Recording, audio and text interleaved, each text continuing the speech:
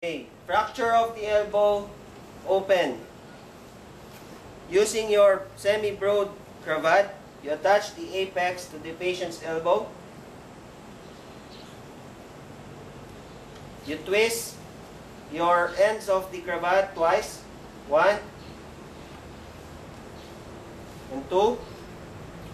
And then you wrap it on the patient's forearm. And you wrap it on the patient's arm. And you make a square knot.